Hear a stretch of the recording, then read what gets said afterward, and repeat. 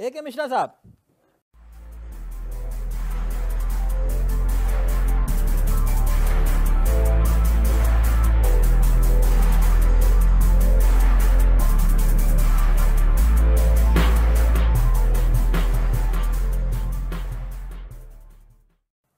आज बीजेपी लगता है कि मंथन और चिंतन अमृत निकालेगी, आज बीजेपी लग रहा है।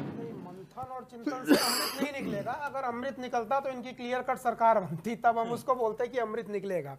ऐसा नहीं है कि इन्होंने मंथन और चिंतन किया नहीं था और इनको पता नहीं था। कुछ ना कुछ बीजेपी में खूबियाँ हैं। देखिए ये सब हुआ क्या? मैं इतने दिनों से बोल रहा हूँ कि ये बड़ा कांटे का टक्कर होगा।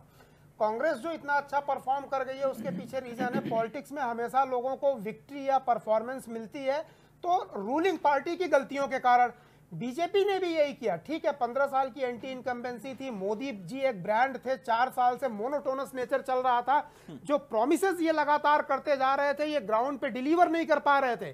गैप बहुत था।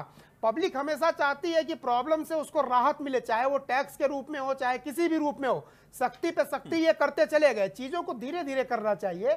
उसका ये रिज़ल्ट है कि छत्तीसगढ़ में रमन सिंह की सरकार थी जो ये दावा करती थी कि हम सुंदर और साफ़ सुथरी सरकार है हमारे ऊपर बेदाग हमारी छवि है। वहाँ पे क्या हो गया आप देख लीजिए।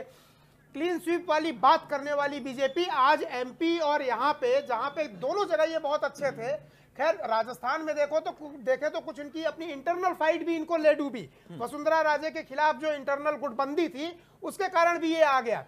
देखिए, इतना अच्छा मैनेजमेंट होते हुए बूथ लेवल पे इतना अच्छा इन लोगों का नेटवर्क होते हुए, अगर ये इस लेवल पे गिर गए हैं कि एक एक सीट के लिए फाइट करनी पड़ रही है